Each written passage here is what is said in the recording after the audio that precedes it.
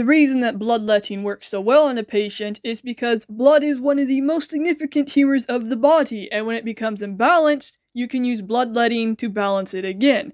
Now, an issue we have been having recently is the survivability rate of the patients.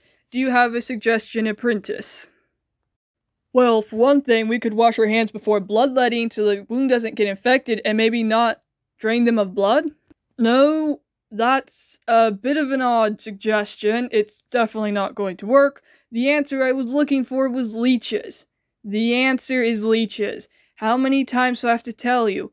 How many times? Really, this again, the leeches. It's always about the leeches. I'm the doctor here. You're the apprentice. Do I have to give you another three hour lecture on leeches? Do I? Nope, nope, you're right. I'm good. Um, definitely leeches. You're right. Good, that ends today's lesson. Now, next time, remind me to tell you about the exploding toads. Alright, wait. Wait, what? Exploding toads? Leech, hang on.